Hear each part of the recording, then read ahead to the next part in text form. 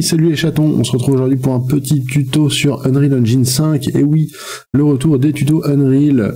Euh, voilà, j'ai eu envie de refaire, on a discuté un petit peu en live dimanche, je rappelle, sur twitch.tv slash out of reality, ou sur cette chaîne YouTube. Euh, on a discuté un petit peu, moi c'est vrai que j'ai aussi envie de refaire du Unreal en plus du GDevelop, pour mes projets perso, hein, tout simplement. Et, euh, et, puis, et puis voilà, puis on va commencer, tout simplement, il y a une série qui va arriver, mais qui va être des reuploads de ma précédente chaîne, je rappelle, qui a été piratée euh, fin 2023. Et donc j'ai une petite série de tutos qui vous attend, mais on a besoin, euh, pour pouvoir euh, être dans le mood et utiliser la version 5.3 d'Unreal, eh bien on va avoir besoin de changer les inputs, la manière dont sont utilisées les touches clavier, souris, manette, etc. dans Unreal, puisque tout ça a changé Unreal maintenant utilise le Enhanced Input Local Player Subsystem. One shot, premier coup sans réviser, yes. Euh, donc on va voir comment utiliser, euh, enfin comment transformer l'ancien système d'input de contrôle euh, de, nos, jeux Unreal et de les transférer vers le nouveau système. au début je râlais un petit peu avec ce système, mais en fait il est vachement bien. je râlais parce que j'avais pas envie de changer. Euh, donc voilà, donc l'idée c'est que vous vous souvenez peut-être dans les dans Unreal, dans les versions avant la version 5.1 je crois d'Unreal Engine, on avait euh, dans les project settings un onglet input et ici ben, on pouvait mapper justement toutes les touches de nos claviers avec les différentes actions. Euh, alors je parle de touches clavier mais ça peut être manette, souris, les manettes de réalité virtuelle, etc., etc. Et ce système est depreciated, comme on le dit si bien en jaune. On va devoir utiliser les Enhanced Input Actions et les Mapping Context pour, euh, ben maintenant pour pouvoir rajouter de nouveaux, de nouveaux mappings. Si vous avez commencé un projet en 5.3 directement, vous aurez plus tout ça. Il n'y a aucun souci, vous n'êtes pas obligé de regarder ce tuto. Tuto est vraiment là plus pour la prochaine série de tutos de, sur le, les systèmes de build euh, qui va venir, qui elle a été enregistrée en version 5.1 je crois ou 5.0 non 5.0 5.0 et du coup on a euh, on a toujours l'ancien système dessus. Donc je voulais vous faire un petit peu cette euh, cette petite intro ou si jamais vous aviez un ancien un ancien projet que vous voulez relancer eh ça pourra vous être utile. Donc c'est ça va être assez simple Première chose, on va aller dans Unreal, dans Edit, on va aller dans euh, Plugins, pardon, et on va chercher Enhanced, et on vérifie que, le plugin Enhanced Input est euh, directement coché. S'il n'est pas activé, vous l'activez, vous redémarrez Unreal, et c'est tout bon. Ensuite, on va devoir créer euh, deux, deux, au moins un, un acteur mais un blueprint qui va être le contexte, donc qui va regrouper toutes les, toutes les touches, euh, tout le mapping, et ensuite on va avoir besoin d'un objet par, euh, par input, donc que ce soit une touche clavier, un joystick, un bouton, une souris, etc. On aura besoin à chaque action, par exemple le clic gauche, de créer un petit, un petit objet. Donc ça va être très facile, vous allez voir. On va aller donc dans le Content Browser. Je vais aller, alors je suis, là je suis sur un first person je vais dans First Person, dans Blueprint, je vais me créer un petit dossier, clic droit, New Folder, que je vais appeler Inputs. Je vais refaire un clic droit, New Folder, je vais créer un dossier qui s'appelle Actions. Les actions vont être vraiment euh, sur chaque sur quelle touche on va. Euh, enfin, c'est même pas exactement sur quelle touche, mais en gros quelle action va être déclenchée lorsqu'on appuie sur une touche. Et on va avoir besoin donc du contexte qui regroupe tout ça. C'est un petit peu confus. En gros, on a le contexte qui regroupe euh, toutes les actions. Et dans le contexte, pour une action, on va définir l'input correspondant. Donc par exemple, j'appuie sur espace, je vais euh, effectuer l'action sauter, etc., etc. Donc on va commencer par créer euh, notre input contexte. Donc on va pas aller dans action, on va y aller juste après. D'abord, on va rester dans notre dossier inputs, clic droit, on va sur input et input mapping context. Je vais l'appeler IMC underscore euh, check check check building, peu importe. Moi, voilà, c'est mon, euh, mon contexte. Ça permet également d'avoir plusieurs euh, fichiers de mapping différents, un petit peu selon les, les configurations. Ensuite, on va aller créer une action. Alors là, on l'a juste créé, on va revenir après euh, dedans. On va aller dans le dossier action, clic droit, input, et on va créer une input action. Donc là, je vais appeler IA, à ne pas confondre avec l'intelligence artificielle, et on va l'appeler euh, test. Voilà, pour que ça soit un peu générique. On va ouvrir cette action, donc en double-cliquant dessus. Ici, on va pouvoir mettre une petite description. Je vous invite vraiment à mettre une description, ça pourrait être utile quand vous allez utiliser ces actions dans votre euh, personnage, enfin dans votre caractère blueprint, ou dans d'autres objets, etc. Donc mettez une description, n'hésitez pas. Euh, alors, ceci est un test. Ne mettez pas ceci est un test, sinon ça sert à rien. Mettez un truc qui sera vraiment utile et parlant. Ensuite, on va aller modifier quelques petites options. Alors, je vais pas faire un tour de toutes les options. Mais en gros, euh, ici, la première, ça va être tout simplement de savoir si l'action peut se déclencher même quand le jeu est en pause. Euh, nous, on va mettre non, puisque on veut pas, euh, voilà, si le jeu est, en pause, on ne veut pas la, on ne veut pas pouvoir l'utiliser. Là, ça va être pour revenir en arrière, je crois. Alors, j'avoue que je les ai pas toutes lues, donc je vais, je vais passer celle que je ne connais pas. Celle qui est importante, ça va être la value type. Ici, on va avoir quatre types de, de valeurs. Soit on a le digital, donc c'est un booléen, c'est vrai ou faux. Par exemple, une touche de clavier, euh, sauf clavier exceptionnel, mais une touche de clavier, c'est soit on appuie dessus, soit on n'appuie pas dessus. La même chose pour un bouton euh, A ou croix d'une manette, soit on appuie dessus, soit on n'appuie pas dessus. Pour reprendre euh, l'exemple de la manette, on peut avoir par exemple un Axis 2D. Axis 2D, bah, ça va être tout simplement euh, mon joystick. Donc là où on va avoir des, euh, on va avoir des informations, des directions en fonction de comment je tourne mon, joystick. L'axe en une direction, ça va être pareil. Par exemple, sur un joystick, soit l'axe X, donc euh, gauche-droite, soit l'axe Y au bas. Et enfin, pour les axes 3D de mémoire, c'est tout simplement pour les manettes de réalité virtuelle du coup, on peut les être dans les trois dimensions, inclinaison avant, inclinaison latérale et euh, inclinaison à plat. Donc, euh, on pourra avoir les trois, les trois dimensions euh, pour les manettes de VR. Nous ici, on va simplement faire une action toute simple avec un bouton clavier. Mais sachez que vous pouvez utiliser sans problème un float, donc les axis 1D, si vous voulez faire un personnage qui déplace que de gauche à droite au joystick par exemple, eh bien vous aurez sa direction euh, qui sera renvoyée avec le float. Moi je veux simplement un booléen, soit j'appuie, soit j'appuie pas. Et le reste on va laisser par défaut. On sauvegarde, on peut fermer. On va revenir dans notre content browser, on va aller dans Inputs, on va ouvrir notre IMC Building, et c'est ici qu'on se retrouve avec le mapping. Donc ça ressemble un petit peu à l'interface qu'on avait dans les anciennes versions d'Unreal. On va rajouter ben, tout simplement des mappings quand j'appuie sur telle touche, on va euh, lancer telle action, etc., etc. Alors, je vais aller sur Mapping, je vais cliquer sur le petit plus. Ici, on va sélectionner dans None notre action qu'on a créée, donc il y a test.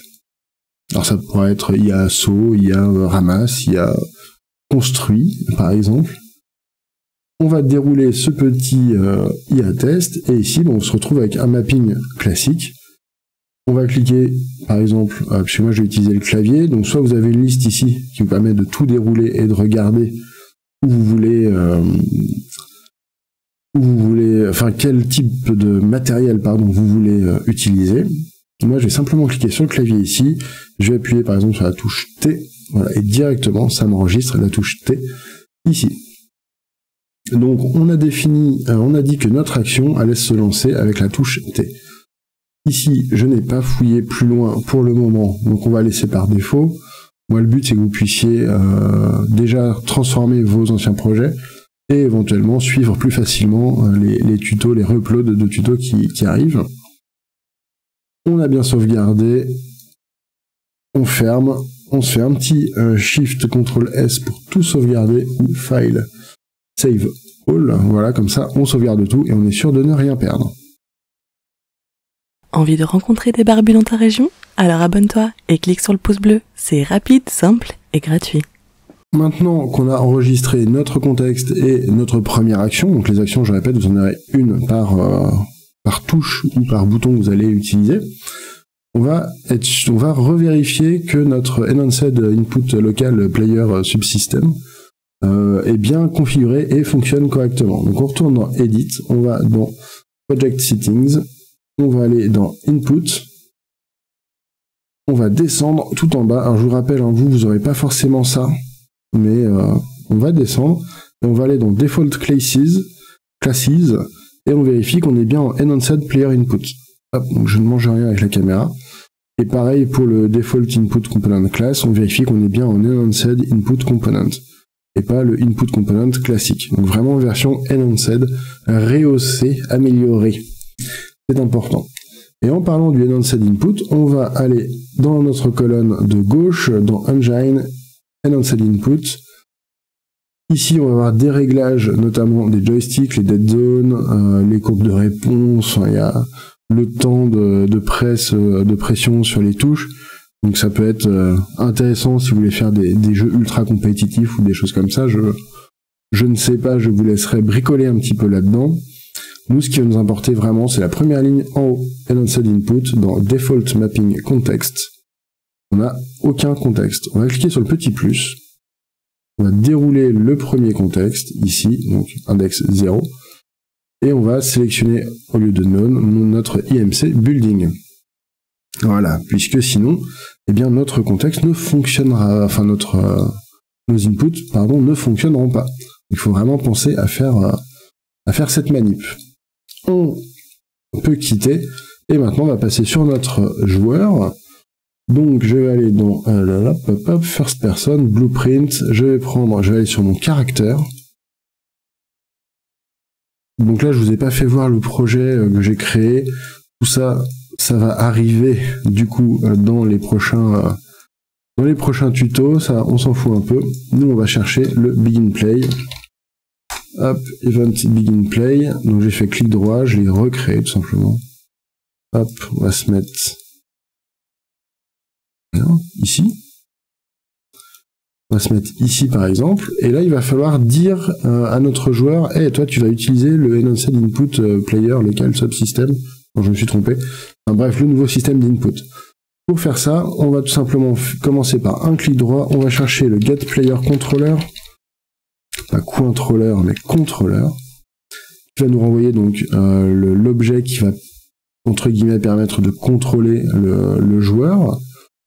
De ce getPlayerController, on va chercher le get.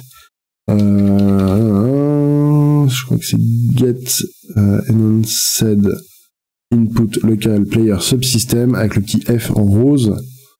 Hop. On a donc ce gros node un peu translucide qui apparaît. On va vérifier s'il est valide. Donc on les tire et on fait un is valide. On prend la question, euh, la question mark, le point d'interrogation. Comme ça, on va avoir deux sorties, ce qui va nous permettre, si jamais c'est vrai, euh, alors on va lancer une action. Si c'est faux, on peut lancer une autre action. Si notre enhanced input local player subsystem n'est pas bon, on peut par exemple afficher un message d'erreur. Et donc, si il est valide, s'il est bon, on va étirer et on va rajouter mapping add mapping context. S'il est valide, tac. Et on va se resélectionner notre contexte, IMC building. On ne touche pas aux options de priorité ou aux options euh, non plus plus en avant. Ici, on peut se mettre un petit print string au cas où. Hop, euh, contexte euh, non valide. Hop, en français, in, en français, in the text. donc si notre contexte n'est pas valide, on a un petit message qui nous dit Eh, il y a un souci là-dessus. Ça nous permet de ne pas passer 15 plombes à chercher d'où vient le problème. Et donc, eh bien, ici, hop, on va revenir, euh, par exemple, où est-ce qu'ils sont? Là, ici, j'ai plein d'inputs. Donc ça, c'est l'ancien système, les input action classiques. Eh bien, moi, j'ai créé une nouvelle, euh, une nouvelle action. Donc tout ça, c'est ce qu'on verra dans les prochains tutos, tout ce qui est ici. Euh, on va créer donc une nouvelle action, sauf que là, au lieu de chercher input action, alors sachant que moi j'en ai encore puisque ce sont les anciens, mais on peut chercher directement le nom de notre, euh, de notre action qu'on veut créer. Donc nous, c'était IA underscore test.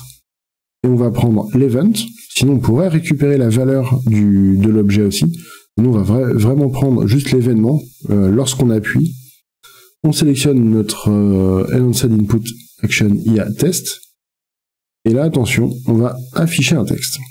Je vais vous faire voir, par défaut, lorsque l'event est triggered, donc lorsqu'il est déclenché, on va afficher euh, un, petit, euh, un hello, un petit print string tout simplement.